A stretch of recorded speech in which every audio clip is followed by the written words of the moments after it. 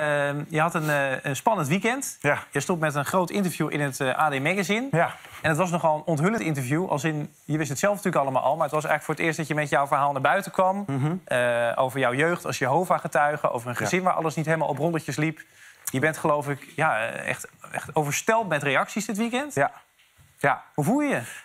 Gek, want eh, ik had niet verwacht dat het zoveel reacties zou, eh, zou opwerpen. Ik voel me ook ergens bevrijd, maar dat voelt ook weer gek. En mensen zeggen ergens dat ik een held ben en zo voel ik dat totaal niet. Dus het is, het is, ik ben nog heel erg zoekende in waar sta ik hier en, en wat vind ik ervan. Maar alle reacties zijn zo overweldigend mooi dat ik... eh, ik ben er stil van. Ja. Waarom vind je dat gek? Dat mensen denken dat je bevrijd bent in zekere zin? Want zo, zo, zo lees je het bijna wel, het interview. Nou, het is, het is ook een heel het is een bevrijdend ding, omdat ik zelf zoiets had van: dit, dit is mijn verhaal wat ik al heel lang heb meegemaakt. Inderdaad, in een, in een geloof en met een vader die daar weer andere dingen op nahield. En eh, dat, dat, dat heeft zoveel sporen achtergelaten dat ik zelf eigenlijk altijd al voelde van... oké, ik, ik zit bij de radio, ik leef een leuk leven... maar er zit ook een ander stuk bij waar ik soms niet helemaal wist hoe ik dat kwijt moest. En ik kwam daar af en toe zo mee in de knel dat ik dacht, ik moet dit een keer vertellen. Maar als ik het dan vertel, kan ik niet één klein stukje doen. Dan moet ik het wel helemaal doen. En dat heeft Ja. een hele lange voorbereiding gehad. Dus Nou, dat, Ja. dat is in die zin goed uitgepakt. Dat staat mooi opgeschreven, vind Dank ik. je, dank je. Ehm, eh, kijk, ik ben ook in de kerk opgegroeid Ja. en jij natuurlijk in, in de Turkse cultuur. Maar Ja. ik, ik hoefde niet langs de deuren om mensen te overtuigen. Maar ik begreep dat Nee. jij al, toen je zes was al Ja. zeg maar, meeging langs de deuren om, om Ja. het evangelie te verkondigen. ja, toen deed ik het ook al zelf. Oh ja? Ja, het is... eh, nou, Hoe ik- dan? Bent- Nou ja, ik ging dan zelf met een boekje met, eh, wat is dat, de wachttoorn en de ontwaakt... gingen we langs de, langs de deuren. En Wacht? ik, wachttoorn, de wachttoorn. Misschien zijn nooit langs wachttoorn. geweest Oh ja, bij ja, jou. ja, ja, ja, dat is heel Ja, goed. ja, ja, ja. Ja. Ja. Meteen dicht dan.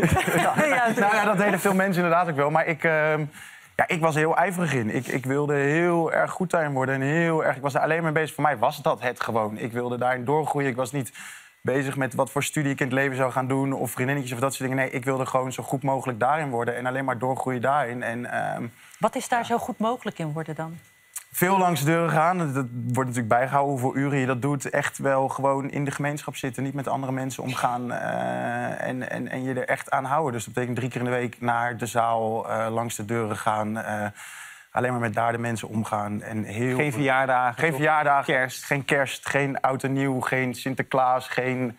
Niet op sporten, niet op voetbal. eh, al die Topleven. dingen Zo. Ja. Ja, wat, wat, eh, want ze komen bij mij, bij mij ook wel eens aan de deur. Ja. En het verhaal, vind ik altijd, gaat heel erg over angst. Ja. Angst voor wat er na Ja. dit leven gaat Ja, gebeuren, hiernamaals. Ja, ja, ja.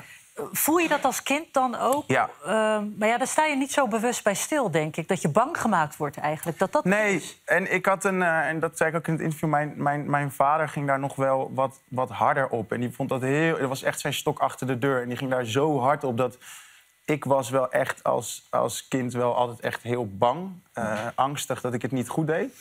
Maar eigenlijk geloofde ik er zo heilig in dat pas toen ik stopte, eh, daar kwam eigenlijk pas de, de, de, de problemen in mijn hoofd, zeg maar, van oké, en nu, zeg maar. Ja. Dus, nou, maar het was ook echt, begreep ik, een beetje een regime. Als in van jouw vader was in de kerk een eh, voorbeeldige man. Ja. Maar thuis ging dat net even anders. dronk hij veel en eh, hield hij de hele andere maatstaf op na. En eh, ja, dat, dat zorgde ervoor dat het een soort dubbelleven, een soort dubbelleven werd... wat er ook in het interview eh, naar voren komt. En daar, dat is eigenlijk nog meer eh, het moeilijke eraan. Je kan natuurlijk in zo'n gemeenschap zitten en dan je weg zoeken... maar als je in zo'n gemeenschap ook nog eens een dubbelrol speelt... en niet de dingen doet hoe ze geleerd worden... dan kom je helemaal in een soort... Voel je je schuldig om zo over je vader te vertellen? Ja. Begreep ik uit het interview. Ja, ja, ja, het valt me nu ook op dat je er het liefst overheen praat, want het is toch je vader. Ja, ik vind het heel moeilijk. Omdat ik denk van, je wil iemand niet afvallen. En je wil niet Nee.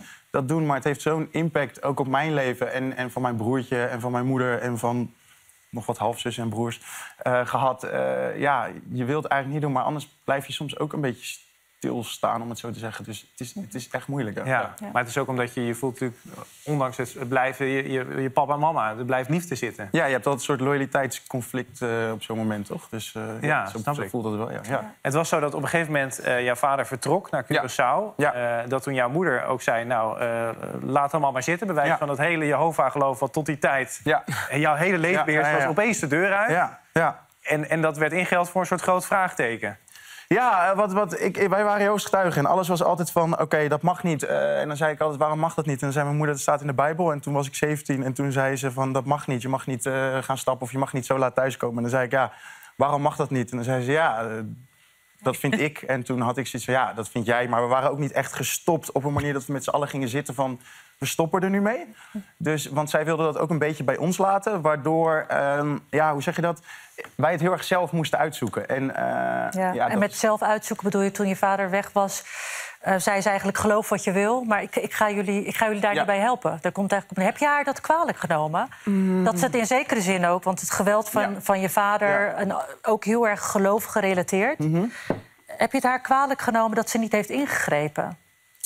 In het regime Ja. wat eh Ja. Denze net benoemde. Nou, kijk, het, ehm, nee, want eh, ehm, hoe heet ik weer? Ehm, natuurlijk wel een tijdje dat je denkt, waarom is dit allemaal niet eerder gebeurd? Maar ook bij Joost Tuig is het wel zo dat als je uit een gemeenschap stapt, dan word je uitgesloten en dan mag niemand meer naar je kijken en met je omgaan en met je praten. En dat eh, eh, was zij een beetje bang voor dat als zij dat zou doen, dat, dat, dat ze ons dan ook niet meer zou zien. En dat zou betekenen dat, dat toen wij jonger waren, dat we dan alleen in die gemeenschap waren gebleven. Dus zij heeft het eigenlijk heel erg voor ons gewacht een tijd. En daarna denk ik, ja, als je kinderen opvoedt met het idee... dit is het leven, en dan ineens zeg ja, sorry, het is het toch niet. Ja, dat kan je ook niet zelf helemaal jezelf kopen. Dus Nee, ik snap haar best wel goed, ja. Ja. Is het dan zo dat je daarna denkt, hé, hey, eh, ik ruik ook een soort vrijheid. Ja. Let's go? Ja, in eerste instantie wel. Alleen vervolgens is bij alles dat je denkt, ik doe het niet goed genoeg. Daar heb ik jarenlang last van gehad. Dus ik ging alles doen. eh, zes dagen in de week stappen. ehm, weet ik veel wat allemaal met, met meisjes, met, met alles doen. Maar bij alles dacht ik alleen maar constant, ja, ik doe het niet goed. Ik doe het niet goed. Echt waar? Ik Ja, het niet goed. eh, zeg maar, het, beeld wordt ook een Ja. beetje, hè? Ja. Igmar, vrolijke jongen. Ja. Eh, ik geloof, jou hebben volgens mij ook een foto van dat jij crowdsurfend op... eh, ja, ja, Hier, ja, ja. over de oranje menigte. Denk je, nou, de- deze jongen heeft het helemaal voor elkaar. Nou ja, kijk, ik, ik ben in basis ook eh ben je een ook, jongen precies, en, en die hier ook blij mee is. Maar het is natuurlijk wel altijd zo dat ik altijd dacht... en nog steeds wel dagen thuis kan denken, ik doe het niet goed. Dit is niet wat ik moet doen, want er zit wel een diep geworteld stuk in mij... dat, eh, dat denkt van ja, maar je mag dit helemaal niet doen en je moet dit niet doen. Maar dieper nog van, je mag, je mag er niet zijn. Ja. Ja, dat denk, ja. ja, dat denk ik Ja. wel. Ja, ja. Want het mag niet over de ja, niet, gaan. Ja, in, en- in, jullie, in dat geloof. Ja, en, en ook doordat mijn vader daar nog wat, wat harder in was, eh, hebben wij dat eigenlijk helemaal niet echt eh, ontwikkeld. En daardoor heb ik, ja, je gaat het wel allemaal doen dan, maar vervolgens denk je bij alles, ik doe het niet goed genoeg. Ga je mensen vragen, doe ik het goed genoeg? Voel ik me heet en schuldig over dingen? Heb ik heel veel dagen in mijn eentje thuis gezeten met een soort paniekaanvallen van, ja, het is niet goed wat ik doe, het is niet goed, het is niet oké. En eh, ja, dat... Ja. Geloof dit- je nog? Ja, goede vraag. Ehm, ik zei ook in het laatste stuk, dat wordt me vaker gevraagd. Ik, ik eh, weet het niet zo goed, omdat het vanaf 0 tot 17 in is gestampt. Daarna ben ik heel veel gaan uitzoeken over Jehovah's getuigen. Toen dacht ik, ja, hier kan ik ook niet echt mee verder.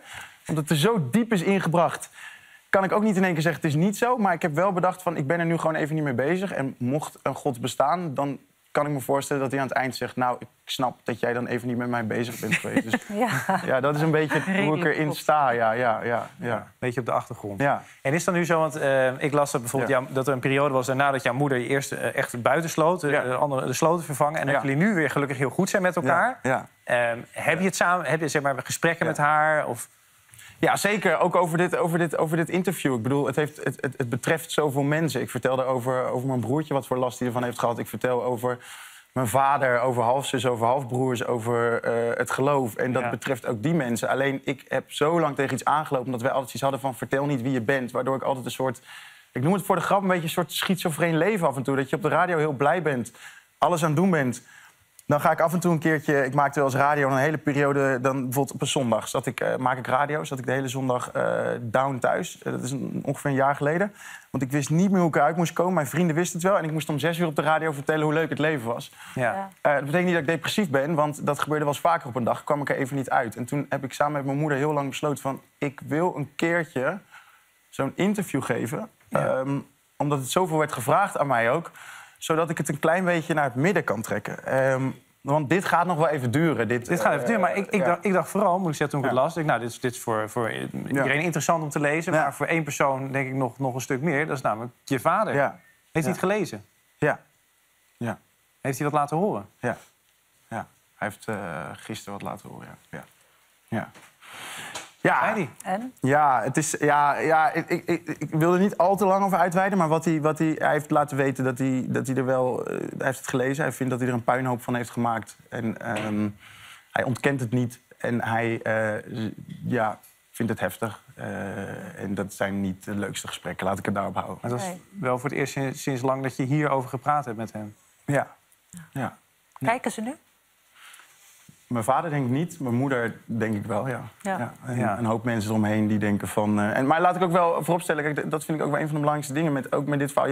Ik vind nog steeds, ik ben wel de Igmar die bij de radio werkt... en heel blij wordt van gewoon lol maken en, en, en dat soort dingen doen. Dus die kant wil ik er ook mee op. En dan hoop ik dat ik het gewoon een beetje op die manier samen kan voegen. Mhm. Voor mezelf, voor mensen. Ik heb zoveel reacties van mensen gekregen, dat had ik niet verwacht. En dan, Ja. ja... Je wil opnieuw beginnen. Het is een nieuw begin. Het is een, het is, ja, je kan nooit opnieuw beginnen, want je moet, vroeger heb ik heel lang... eh, ik heb mijn vader negen jaar niet gesproken en toen dacht ik, dat bestaat niet, Curaçao bestaat niet. Maar je zal het toch moeten omarmen in je leven en het hoort erbij.